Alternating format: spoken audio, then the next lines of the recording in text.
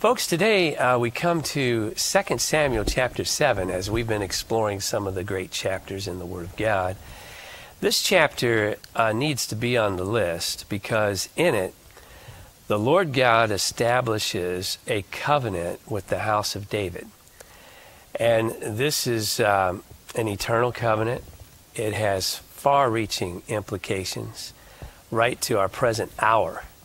And uh, we're going to talk about it a little bit this week. Um, and we hope you enjoy it. To get us started, uh, 2 Samuel chapter 7. Neil's going to read verses 1 through 17 so we can get our context. All right.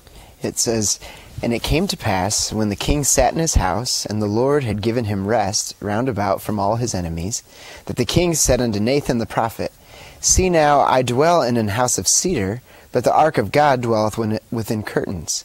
And Nathan said to the king, Go, do all that is in thine heart, for the Lord is with thee. And it came to pass that night that the word of the Lord came unto Nathan, saying, Go and tell my servant David, Thus saith the Lord, Shalt thou build me an house for me to dwell in? Whereas I have not dwelt in any house since the time that I brought up the children of Israel out of Egypt, even to this day, but have walked in a tent and in a tabernacle. In all the places wherein I have walked with all the children of Israel, spake I a word with any of the tribes of Israel, whom I commanded to feed my people Israel, saying, Why build ye not me an house of cedar? Now therefore, so shalt thou say unto my servant David, Thus saith the Lord of hosts, I took thee from the sheepcote, from following the sheep, to be ruler over my people, over Israel. And I was with thee whithersoever thou wentest, and have cut off all thine enemies out of thy sight and have made thee a great name, like unto the name of the great men that are in the earth. Moreover, I will appoint a place for my people Israel, and will plant them that they may dwell in a place of their own, and move no more, neither shall the children of wickedness afflict them any more, as before time. And as since the time that I commanded judges to be over my people Israel, and have caused thee to rest from all thine enemies, also the Lord telleth thee that he will make thee an house. And when thy days be fulfilled, and thou shalt sleep with thy fathers. I will set up thy seed after thee, which thou which shall proceed out of thy bowels, and I will establish his kingdom. He shall build an house for my name, and I will establish the throne of his kingdom forever. I will be his father, and he shall be my son. If he commit iniquity, I will chasten him with the rod of men and with the stripes of the children of men. But my mercy shall not depart away from him, as I took it from Saul, whom I put away before thee. And thine house and thy kingdom shall be established forever before thee. Thy throne shall be established forever. According to all these words and according to all this vision, so did Nathan speak unto David. Wow. Well, folks, let's consider uh, the content of this uh, revelation here. First of all, the setting is uh, noted in the first few verses. Um, the king sat in his house. The Lord had given him rest round about from all his enemies. Those of you familiar with your Bible, you know that David was a man of war. Uh, I think just last week we were talking about his encounter with Goliath. Uh, from his youth, you know, he, he was engaged in battle. And soon after, in his young adult years, you know, he was going to battle. Eventually, God bring him, brought him to the throne and established him. And he got to a season in his reign where he had a measure of peace. And that's what the Bible is talking about here. The Lord giving him rest round about from all his enemies. So David's looking around. He's prospered. He's in a place of peace. And uh, he said to the prophet Nathan, now it's interesting that the king had a relationship to the prophet. You know what I'm saying, Neil? I mean, he, he, he didn't have to search for somebody and say, you know, I got something on my mind. Could you find somebody? No, he knew Nathan. Matter of fact, Nathan, you know, is going to confront him mm-hmm. or uh, help me with the history here. My, uh, I, I, think Bathsheba's yet to come. I right? think so. Yeah. All right. So Nathan will confront him later about that. But anyway, David knows Nathan. He's in conversation with him, calls him, and see, David feared the Lord. David worshipped the Lord. David served the Lord, and uh, he sought uh, the will of God and so forth. Well, he, he calls the prophet. He says to him, "You know, I'm dwelling in this house of cedar." Uh, God has blessed me. I'm, I'm dwelling in a comfortable place. But, folks, as David was looking at this situation, he says, Now, I wish you'd look at this. I'm dwelling in this nice house, and God's ark, the Ark of the Covenant, it's over here uh, within these curtains. It's like it's in a tent. And David just didn't feel right about that. Now, I want to point something out to you that is a basic spiritual lesson. It's a discipleship lesson here for followers of Christ. You ought to have some passion about the house of God. Now, we're not in the same circumstance. We don't live under the old covenant. We don't have uh, the obligation to go down to the tabernacle uh, or later the temple, so forth. But the spiritual, you know, Neil, a lot of times folks, they don't. Can I encourage you to read the Old Testament? Obviously, Jesus said, Man shall not live by bread alone, but by every word that proceeds out of the mouth of God. And when he made that statement, the only scripture he had to reference was Genesis through Malachi, the Old Testament. Um, read it. The Old Testament is as much food for your soul as the New. You just interpret it in its historical context. Mm-hmm. So we're not under the Old Covenant per se, but all the, the spiritual lessons, they're, they're still vibrant. They're still very much needed. And, and uh, we need to receive them. And so let's not worry about the letter of the law. Let's worry about the spirit. So, what, what spiritual lesson can we gain from David's passion for the Lord? He looked around and he said, I want to tell you something. I'm dwelling in a house of cedar, and God's house is over here in a tent. This isn't right. I'm going to build God a house. In other words, David's saying, I ought to treat the Lord at least as well as he's treating me. Now, are you with me on this thought here? Do you see what I'm talking about? Now, what can we learn from this as New Testament believers today? The New Testament refers to the local church as the house of God. Paul, writing to Timothy, said, you know, and Titus, he said, look, I, I got to help you so that you know how to conduct yourself in the house of God.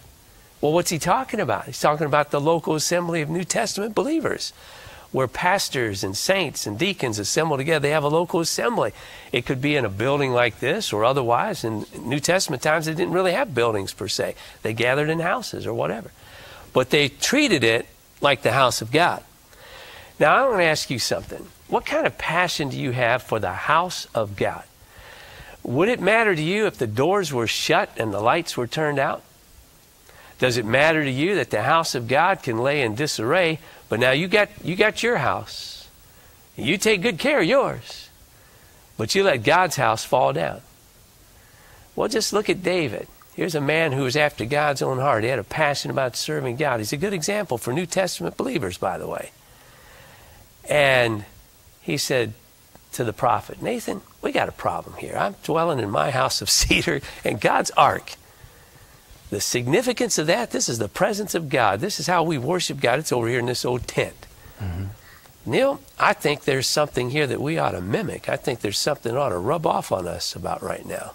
Yeah, he obviously recognizes that, um, you know, the Lord has the one that's blessed him, and then he looks at where they're, you know, they would have to go there and worship, obviously, the tabernacle in some capacity, um, and uh, he said, I, you know, shouldn't shouldn't uh, the ark of the Lord dwell at least as good as what I've got, if not Amen. better, right? Amen. And uh, you know, a lot of people will know the rest of the story, and you know, Solomon was able to see that come to fruition, but uh, but it's his desire that we're looking at. He Amen. he had a desire for the things of God. Amen. And wanted to do something for him. Amen. Well, you and I need to have a passion about serving Christ. And, you know, the things that are dedicated to Him belong to Him. Uh, it just ought to flow out of our heart of love for Christ. I want to take care of what belongs to the Lord. What about you? Do you want to take care of what belongs to the Lord? You say, ah, well, now preach. No, there ain't no all well. If you don't want to take care of God's house, perhaps He won't take care of yours. You say, well, now I'm a child of God. Yes, you are. I'm not talking, it doesn't change a thing. But do you want to experience God's faithfulness? Do you want to experience the fullness of God's blessing? Do you want God's work to prosper? These things matter, ladies and gentlemen and they're going to play out in this temporal life in some measure, and they're really going to play out when we stand before Christ. Because the Lord said, If any man honor, honor me and serve me, him my Father will honor. Mm-hmm. Uh, you can thank every. Look, heaven is going to be a glorious place, a wonderful place, and all of God's redeemed are going there. So, in a certain sense, we all have the same blessing in a certain sense. We're in the same place. But heaven's not going to be the same for everybody. Mm-hmm. You say, What do you mean? Christ is going to reward his people. His reward is not going to be the same for everybody. You can lose reward, you can receive reward. Uh, you're going to have a place in heaven. Study on that. It matters, ladies and gentlemen. Be passionate about the house of God. Take care of it. Look after it and see if God doesn't take care of yours. But don't treat his with less respect than you would treat your own. Buddy old David, he's got a lesson here. Oh, man. Okay, now, as this is on his heart, David's saying, I'll tell you what, I'm, I'm going to build this house. But you know, Neil, the Lord didn't let him build that house, did he? Mm-hmm. He didn't let him. Right. And part of that, as we alluded to earlier, he, I mean, the Lord told him he's a man of war, right? Yeah. And he couldn't build the house. Uh, but he still has quite a, um, uh, an abundance stored up, I guess, and then Solomon ultimately gets to do it. But David still makes the preparation for it. That's very interesting. He does. Now, tomorrow when we return to this, we'll continue our conversation. But it's it's in this setting as Nathan seeks the Lord. You know, the Lord speaks speaks to Nathan rather, and Nathan's going to bring this message back to David. Uh, the Lord told Nathan, "Say, go tell my servant David. Thus saith the Lord." Now, it's in this setting that the Lord reveals to the world a covenant that he is establishing with the house of David. You know, it's interesting, isn't it? God established a covenant with a man who was passionate about serving him. He had his faults and failures. That's beside the point. You can't change his heart. He loved the Lord.